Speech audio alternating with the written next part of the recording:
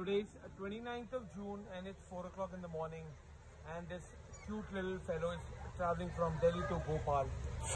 Bye cutie.